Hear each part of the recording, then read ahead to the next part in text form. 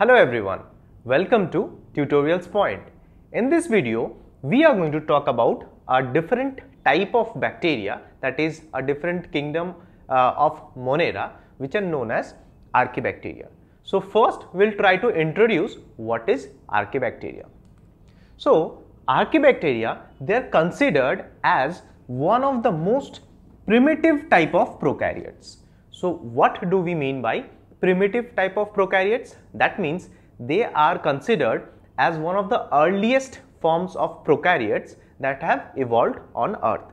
So actually it is believed that these archaebacteria they came into life or they came on earth just after the origin of life. So it is considered as one of the most primitive type of prokaryotes. Now they do not have peptidoglycan in their cell wall as compared to other types of bacteria which have peptidoglycan in their cell wall. These archaebacteria do not have peptidoglycan.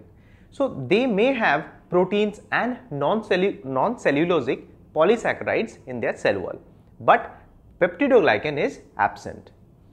They have a monolayer of branch chain lipids which is present in the cell membrane. So cell membrane have a monolayer of branched chain lipids. Very important point of archaebacteria, a characteristic of archaebacteria is that they can live under extremely harsh conditions. So what do we mean by extremely harsh conditions or what are the examples of such conditions? For example, very high salt concentrations, very high temperature, temperature of about 80 degrees centigrades which may be found in hot sulfur springs.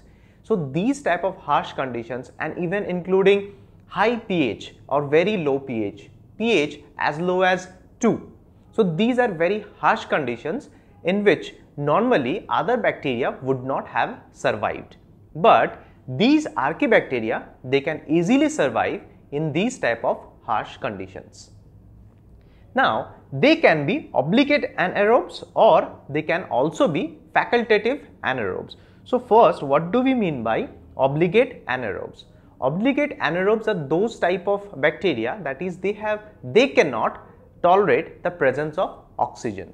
So they will survive only under anaerobic conditions. If there is presence of oxygen in the environment, so they will die. An example of such kind of bacteria like obligate anaerobes are methanogens.